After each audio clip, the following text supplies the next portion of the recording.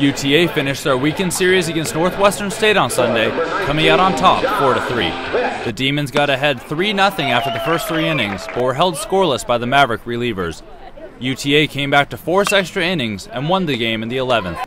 Ryan Walker and Michael Guerra were combined for four hits, two RBIs, and three runs scored. UTA won the series 2 1 and improved to 6 3 in conference play. The Mavs are at home Tuesday to take on the Texas A&M Aggies.